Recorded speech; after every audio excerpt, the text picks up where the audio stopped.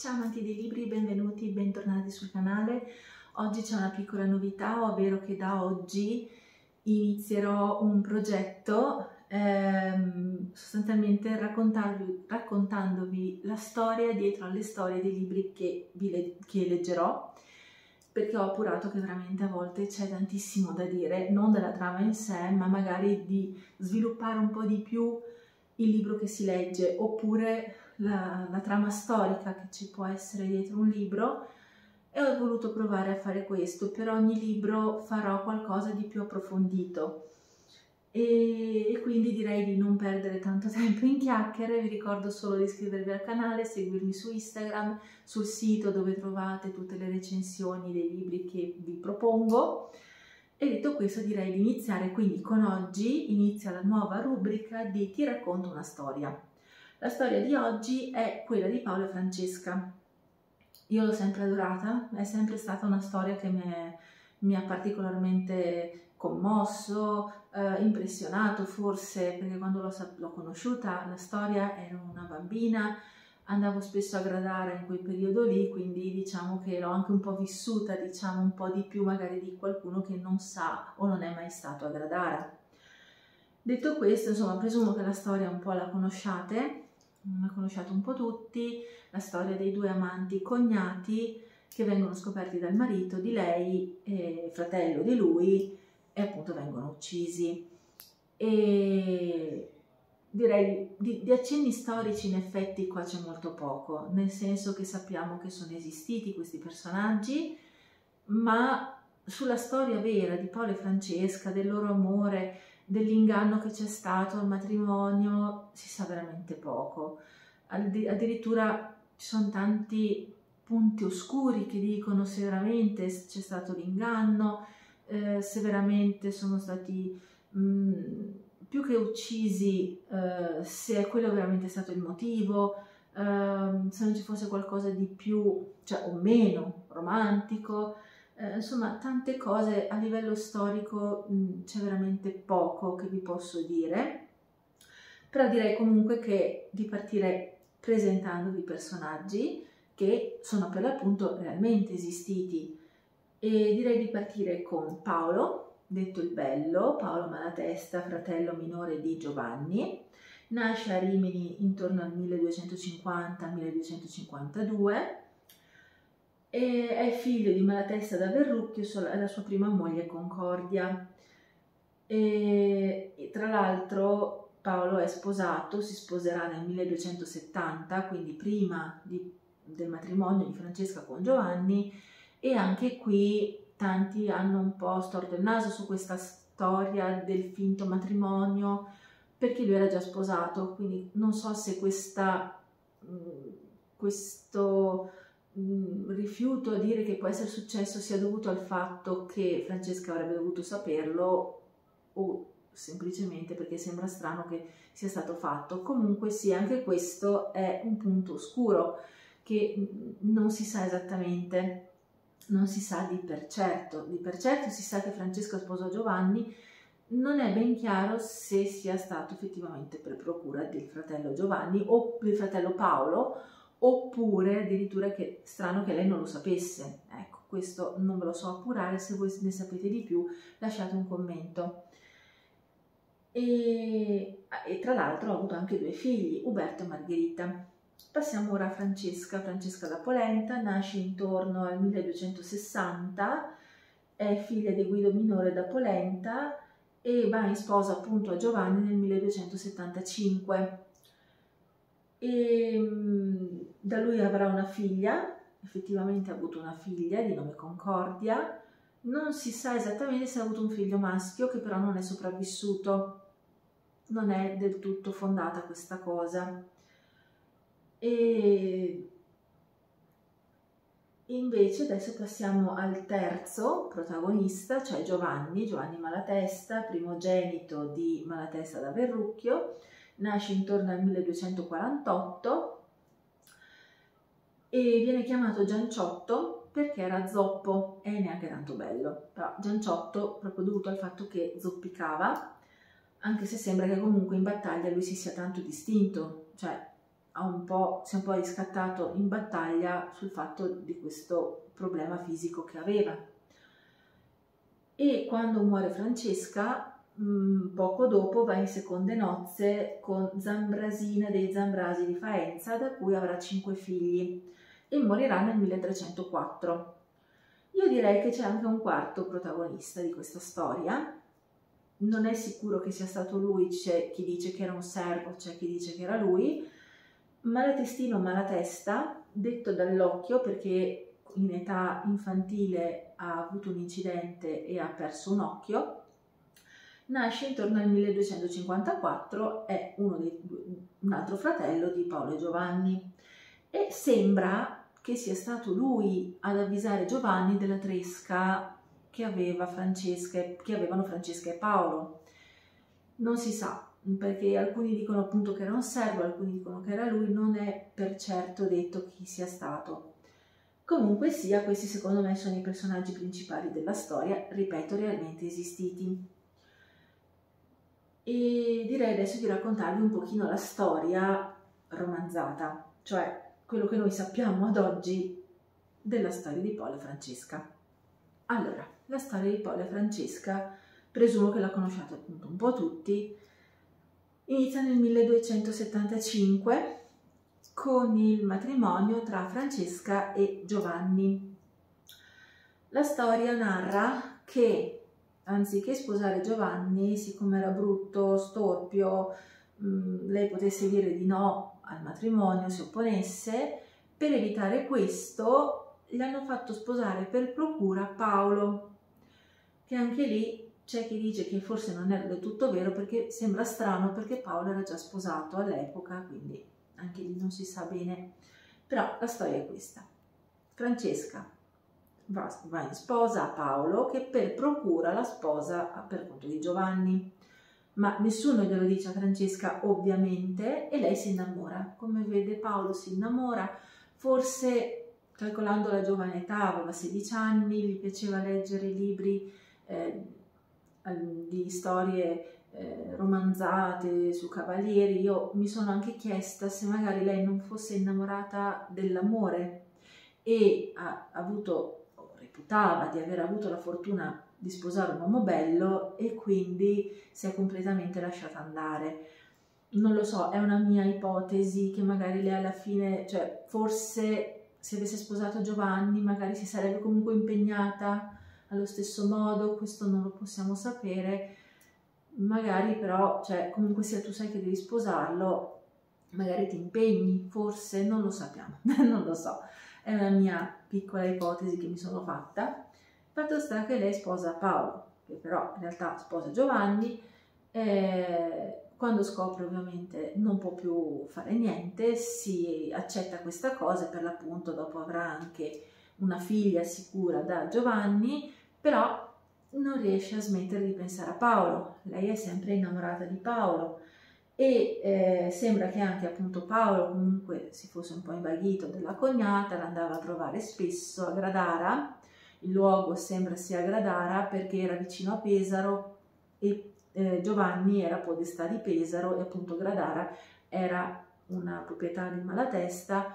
si è data un po' l'idea, si è dato un po' per scontato che fossero a Gradara la moglie in modo che il marito fosse più vicino a casa. E,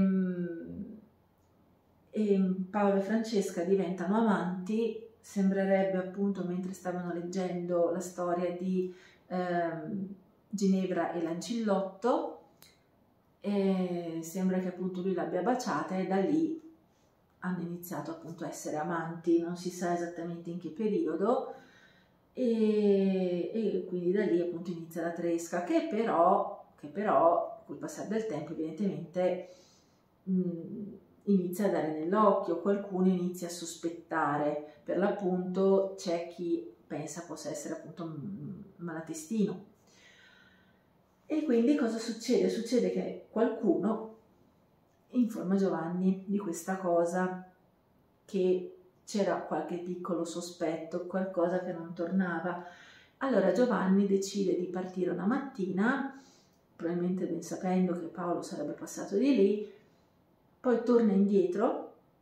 e li scopre in flagrante mentre si stavano baciando. Al che sguaina la spada, entra nella stanza, erano nella stanza di lei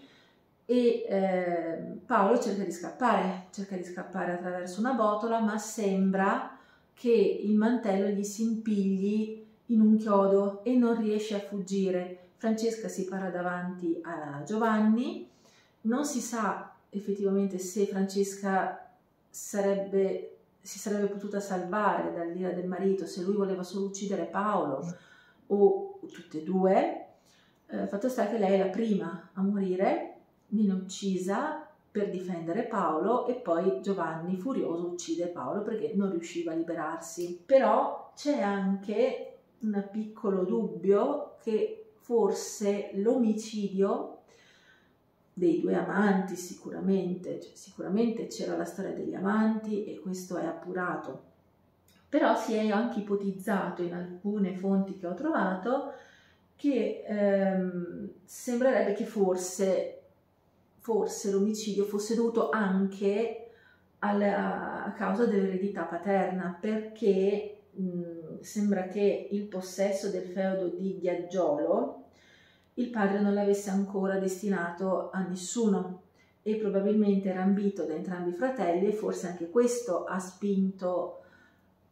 a questo omicidio, magari si è unito le due cose, forse. E si pensa che siano morti a Gradara per l'appunto perché eh, intanto, ok, era proprietà di Malatesta, era vicino a Pesaro, in più ehm, questa storia comunque aveva iniziato a prendere piede sul fatto dei due amanti uccisi, di cui a livello storico si sa pochissimo. Tra l'altro non si, non si è neanche certi del periodo, si passa tra il 1283 fino al 1289, il periodo in cui potrebbero essere stati uccisi. E si pensa appunto che questo silenzio sulla tragedia forse è dovuto al fatto che Giovanni abbia impedito di parlarne e quindi non ci sono atti che attestano questa cosa e quindi ecco non si è sicuri di, di, questo, di questo fatto. Però nel 1760 vennero ritrovati dentro la rocca, durante uno scavo, venne ritrovato un, um, un sarcofago con dentro uno scheletro di donna con diversi monili che fanno presagire che fosse una donna nobile e quindi con la scusa che la storia comunque di Paolo e Francesca c'è sempre un po' stata, soprattutto a Gradara, è molto sentita questa cosa, hanno subito dato per scontato che fosse lei. In più, dentro la rocca, nei meandri della rocca, è stato trovato anche uno scheletro di uomo ancora vestito in armatura e quindi hanno dato per scontato che fosse Paolo. Quindi si presume si pensa insomma che siano morti lì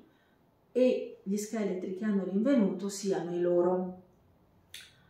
Come ripeto, non c'è nulla che attesta questa cosa, però noi dobbiamo ringraziare Dante se sappiamo oggi la storia di Paolo e Francesca, che comunque sia andata, sappiamo che sono stati amanti, sappiamo che sono stati uccisi, e eh, dobbiamo ringraziare lui perché eh, l'ha inserito appunto nella Divina Commedia, eh, nel quinto canto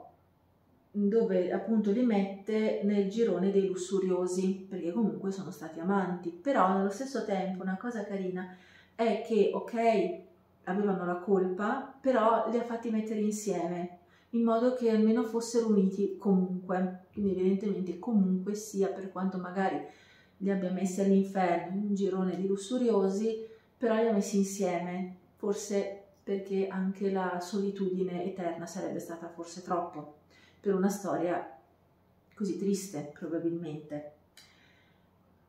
E sembrerebbe addirittura che la storia Dante l'abbia scoperta nel 1304, c'è un'ipotesi, insomma, eh, che, sia stato, che sia stata la figlia Margherita a raccontargli un po', ovviamente di quello che poteva sapere, della storia di Paolo e Francesca, oppure si presume anche che l'abbia saputo dal fratello di Francesca di cui è stato compagno d'armi in una battaglia. Fatto sta che insomma noi dobbiamo ringraziare Dante se oggi conosciamo la storia di Paolo e Francesca. Sappiamo che sono stati amanti, sappiamo che sono stati uccisi, probabilmente eh, sono stati, eh, se, se veramente Francesca è stata ingannata, aveva anche un po' forse tutte le ragioni per comportarsi così, mi chiedo solo se per l'appunto lei non avesse scelto Paolo perché era la prima chance che gli era capitata. L'aveva visto bello, l'aveva visto aitante, eh, dice mio marito, punto, stop, ti do il mio cuore, punto. Mi chiedo se magari fosse veramente, cioè adesso noi non sappiamo, ripeto, se effettivamente questo inganno ci sia stato, ehm, però calcolando quello che noi sappiamo io mi chiedo se forse fosse andato Giovanni ok non sei bellissimo, ok sei zoppo, però magari so che ti devo sposare, forse, forse l'avrebbe accettato meglio, forse sarebbe sopravvissuta qualche anno in più, quantomeno. Eh, su Giovanni posso solo dire che io, mh, conoscendo la storia, non ho mai appurato, o meglio, non ho mai approfondito la figura di Giovanni. Leggendo il libro di Matteo Strucul, lì vediamo anche un Giovanni che soffre, vediamo un Giovanni che forse era veramente innamorato di Francesca, ma non è stato capace, forse nella sua, permettetemi il termine, ignoranza del periodo, eh, certe idee che nel libro abbiamo visto che hanno separato la coppia ancora di più. Ehm, forse se lui si fosse fidato un po' di più di lei, se le avesse dato un po' più di sostegno, se non fosse stato forse così eh, succube anche del padre, magari forse la cosa sarebbe andata diversamente, magari Francesca avrebbe dimenticato Paolo, magari, magari, magari, col senno di poi non si può mai sapere come sarebbe andata.